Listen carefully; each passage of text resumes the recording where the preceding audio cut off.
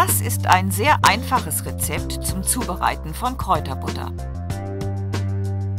Im Abschnitt Kräuter werden die Eigenschaften der Kräuter beschrieben. Im Abschnitt Milch liest man über die Eigenschaften der Butter. Für die Kräuterbutter brauchen wir eine Packung Butter, ein Bund Petersilie, eine Prise Salz und den Saft einer halben Zitrone. Als erstes waschen wir die Petersilie. Dann hacken wir sie klein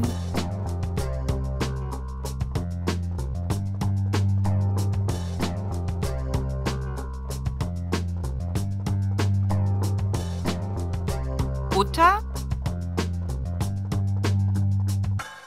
Petersilie und Zitronensaft.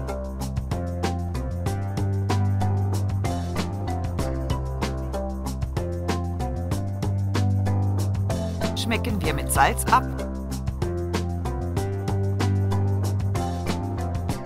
und verarbeiten alles kräftig zu einer Paste.